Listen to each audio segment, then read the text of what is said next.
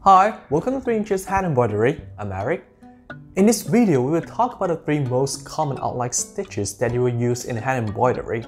Please click the subscribe button and bell if you haven't done it yet. There will be more hand embroidery videos coming up soon. We will start with the stem stitch. I'll fast forward the floss anchoring parts. If you want to learn how to do it, you can refer to the link in the description. After you anchor the floss, bring the needle up from the back on the starting point and make your first stitch. You see this loop after the needle goes down through the fabric. And once you bring up the needle, you can either send it to the left side or right side of the loop. And now we'll do the left side first.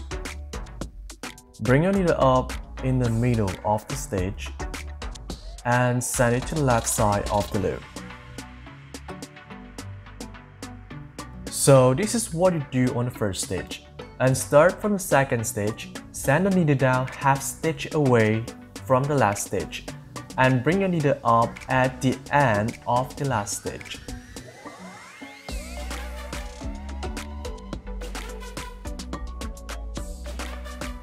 After that, keep repeating the same steps on the following stitches.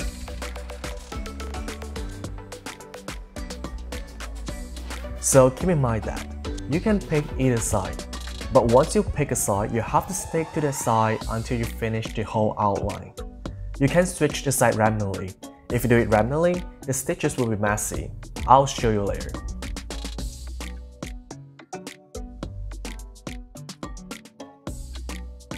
And now we go with the right side. So anchor the floss before you start stitching.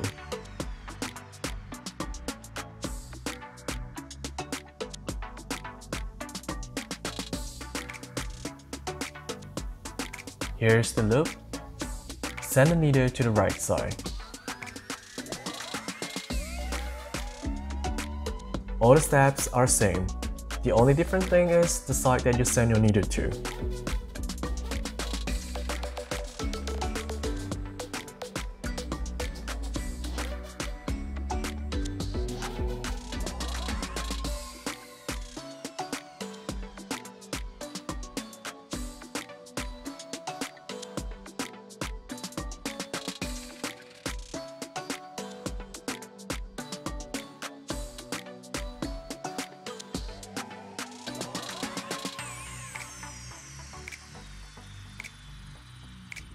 It doesn't matter that which side you do it, the outcomes are same.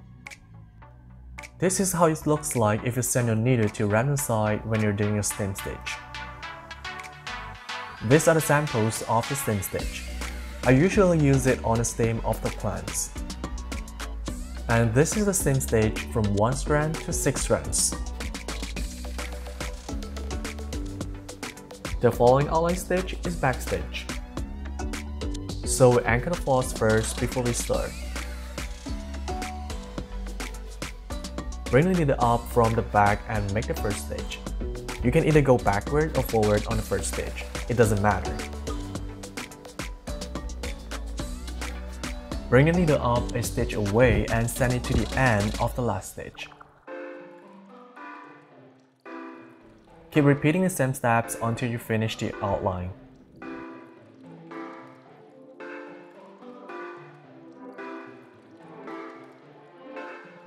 Well, try to make the length of the stitches as even as you can.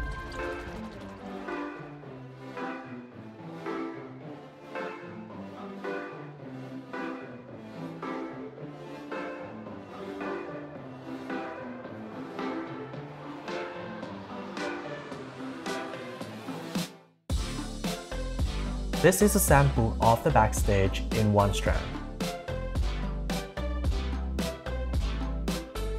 And this is the backstitch from one strand to six strands. The last one, split stitch. So the same start here. We anchor the floss first.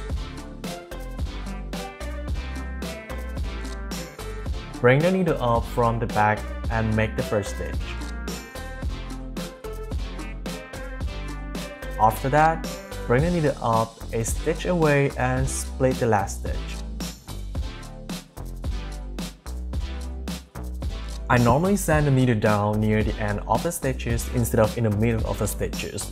By doing this, your stitches will look smoother if you're doing a curved outline with split stitch.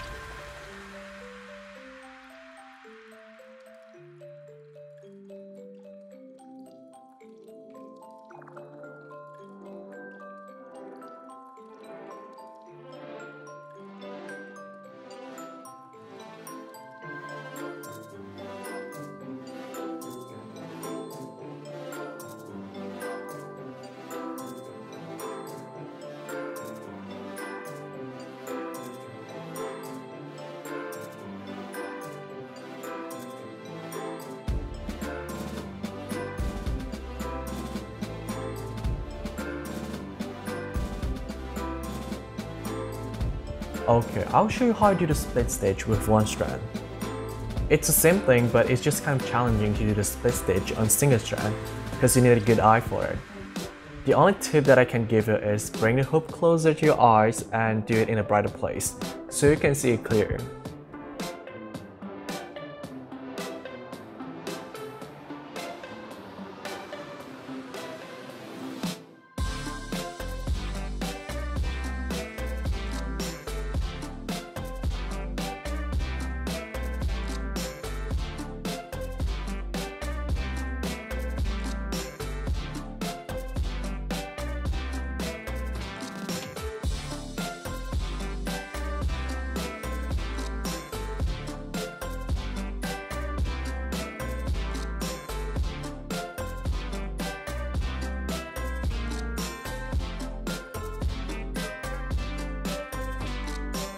This is a sample of the split stitch in one strand.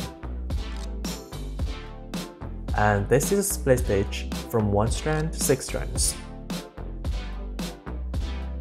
Alright, so we have mentioned stem stitch, back stitch, and split stitch. I put them together here so you can try to figure out which one is the best for your project. If you found this video useful, you can give me a thumbs up by clicking the like button and you're always welcome to leave a comment below. Thank you for watching.